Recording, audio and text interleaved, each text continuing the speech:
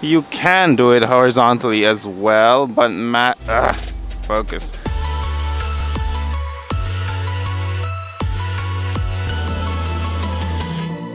Hey you, my name is Elian and welcome to the weekly Wednesday vlog. Today we're in Zagreb, that's the capital of Croatia for people who don't know. It's a pretty beautiful city and we want to go take some photos, but just, we're not going to just take photos, we're going to do a special photo challenge, which is using this phone as an accessory to make some more interesting photos. Now generally there are two categories that that falls in under. You can either use it as a frame, as in put a picture inside this and then take a picture, so it's like a double composition type of thing, or you can use it as a reflection, so literally like a mirror.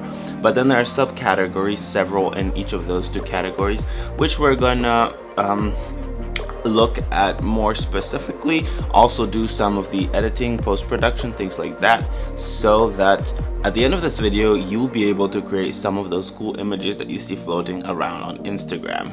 I did just wake up in my hotel room. I'm gonna go down to have breakfast. It is 6 degrees Celsius outside which is somewhere around above zero above freezing. So you know you you, you want to dress up pretty well for that. So we had a very hearty, mostly healthy breakfast and we're out walking. I decided to walk. It's gonna be a long one and a half hour walk to the center. But even though these trams are really cute, I figured I'd just look around at these wonderful parks. I mean, there's plenty of nice views along the way. I have a map on my phone of all the cool destinations I wanna see, like picturesque places that I wanna take pictures of. Although we all know what the challenge is for today. It's pretty cold, like borderline snow, but there shouldn't be any precipitation, blue skies today. So um, off we go. So we seem to be at our first destination. It's a little nice park called Maksimir, I do believe, and it seems to be like an extension of the zoo because there are like fancy birds swimming around. So we're gonna do our first type of smartphone shot which is framing. Now there are also two types of framing because you can do framing of two pictures with the same focal length and framing of two pictures of different focal length. I'll show you in a second. You know what, now that we're up close, this building is not that cool, but whatever, we'll go with it. So, phone goes in front, covers your subject, focus on the frame of your phone, like that, snap a pic. Then you take a picture out of your phone, same focal length, snap another pic. So in basic framing, it's really just about um, take making a mask of the screen of the phone and then applying that mask on the second picture that you took of the background. I also blurred a little bit because you know photos are not pixel sharp. And then I also tried to blend the contents of the screen with the reflection because in real life a photo like this would have a little bit of the reflection but also the contents of the screen. So play a little bit around with the opacity settings to make sure it blends in a little bit. And of course my little signature highlights that I took from Light Without Heat. Now in the case of basic framing with um, two different focal ranges you pretty much make the picture as small as you can without going out of the borders of the phone. And here's a more extreme one when I went further away and took one with the 50 millimeter and zoomed it in even more. So I'm actually super far. If I was actually taking a picture from here with my phone, it would look super tiny, like a tiny little object in the distance. But then I put on my 50 mil, zoomed it in as much as I could, and you get this very object-centered picture. So that's cool and really easy to do, but things are getting really exciting when you start thinking outside of the frame literally. Now I call this advanced framing because you intentionally have the subject sticking out of the frame of your phone when you take a picture of the phone. So snap one, snap the other. Now with advanced framing, you also mask the phone. The primary difference is that your object is intentionally sticking out of phone. So I would take a brush tool after blurring um, the frame, obviously, and I would start masking the hotel back in. Now you can adjust a little bit because you won't see exactly where the images align or misalign. But the point of the effect is that your subject kind of pops outside of the frame of the phone kind of like you know you were watching a picture and suddenly it came to life. That is the effect that we're going for. You can do it horizontally as well but ma ugh, focus. Masking out the background and blending it later can be a pain then you have to find out where to blur the horizon line, you know, whether you want to include the person or not, or the booth or not, or the car or not. Whereas in the sky, there's a very clear boundary. Here, you're gonna have to make harder decisions as to what will what will pop out of the frame and what will stay as part of the background.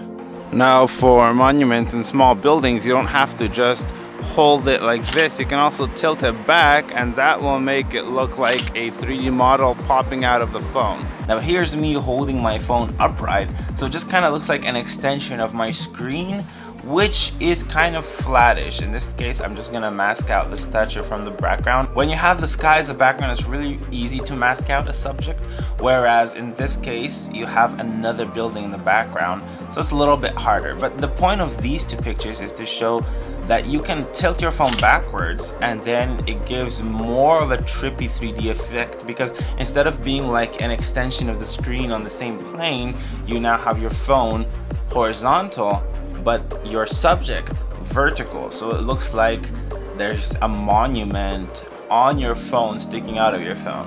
I guess it's really up for interpretation. Obviously some subjects may work better than others so it's really about playing around and finding um, what works for you. And if you're careful you can also combine focal length. For example take this shot with the 18, the 19 mil and then the shot that will be masked in with the 50 mil. So the picture with the phone in it is 19 millimeter, but then I took a 50 mil, went back a bit, and took a more pushed in um, picture of the subject. And this does make for a much more intriguing shot because to an untrained eye, it may look like it's popping that much more out of the picture. I really like how this one turned out. Seriously, some subjects that just work a lot better than others. I like that it's not symmetrical, that the phone is tilted, and then when we start masking out um, the cathedral, it just really looks like it pops out of there. Some some images does do that. I mean, honestly, I don't have that much experience, so eventually you might be able to do this on purpose, but I don't know, some images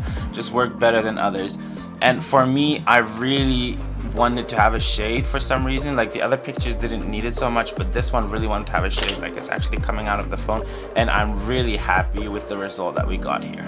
And the last way is having a horizontal surface like a street continuing on out of the phone. In this case, I didn't get the chance to do that, but you kind of get the idea where you're holding the street and the street kind of, you know, rolls out of your phone. If you were up on some building looking down, it would sell the effect even more because you have a kind of higher perspective and then it would really look like the road is a continuation of your phone, especially if you line things up size-wise as well. But you get the idea. So now we're in the center of Zagreb in what appears to be its version of Central Park. I think it's called Zrinjevac. And all these little fancy things around is set up here because what I forgot to mention earlier because I just found out tonight is the first night of Croatian Advent. So all this is gonna light up with their Christmas decorations and things like that, counting up I think four weeks uh, to Christmas. Okay, let's talk a little bit about reflections. Now reflections are just that using your phone to reflect a cool part or something that you see. Now getting a full reflection is really difficult. Most of those are photoshopped because your phone is a pretty small surface. It is doable. Right now I put it really close to the lens, try to keep it horizontal and snap a reflection. Then what you can also do is move down and reflect. Move your phone a little bit away from the camera, reflect the important part, but then you also want your background to generally be interesting. Now with the handheld shot, it works best if you are in the shade and your subject is lit really well because then it's really obvious. In a case when the area where you are and your subject is roughly lit the same, you may want to brighten your screen a little bit and darken the surroundings just to bring a little bit more attention on the subject. In this case, I even desaturated the grass, gave it a little bit darker shade just so that center image pops. So use the flowers to our advantage and create some weird but cool composition. As far as the basic reflection, there's not really much to edit. You know, put on your regular presets and you're good to go. You just got rid of all that annoying grass and weird elements in the front on the ground that you otherwise might not want to have in your shot. Well, here's a weird composition I'm playing around with where you kind of have that building in the reflection there while still grabbing some of these cool shots here. It's fun to play around with. This was a weird composition, unusual. I've never done something like this before, but the horizons somehow aligned and I think it has a pretty trippy effect. I mean, it's really all about experimenting and just trying your hand at different things until you kind of get a feeling for what you like and don't like and what works for you. And sometimes if you're further away from your subject, some of these compositions just work better. So in this case, for example, I can get both the base of the statue and the statue in the same shot.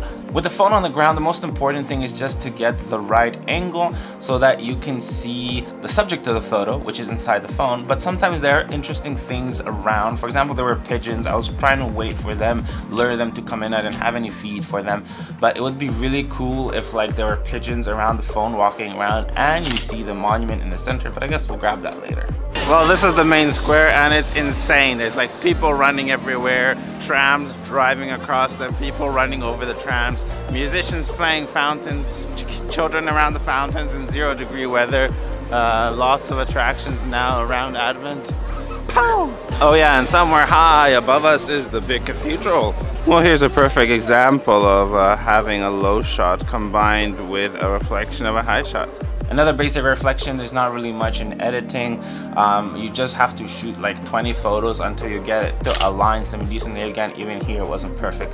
And there's just a little long exposure I got while I was there. Nothing special, just fun. And this was just a cool um, pick of the contrast between like the commercial market and the very sentimental cathedral in the background. I, I liked it, so and that's it guys, that's just the basics of using your phone as an accessory. I try to use these tricks as often as possible. Usually it turns out in segments like sometimes I'm fascinated with lens ball, then I just want to do regular street photography. Then I want to do tons of reflections and then I whip out my phone. So I kind of go in phases. Eventually I hope I'm going to start combining them so that you know get a mixture of everything I'm talking about my Instagram account right now. Thank you guys so much for watching. I hope you learned something new, that it was interesting, that it was of value to you. Like this video if you liked it. Comment on your ideas, what you liked, didn't like. Um, feel free to share your work with me. I'd love to see some of it. If you want to critique, I'm happy to do that as well. Thank you guys so much for watching and I'm going to see you guys next week when I come back home to Sarajevo. Now, we're gonna go for a long trip from Zagreb to Sarajevo, like eight hours.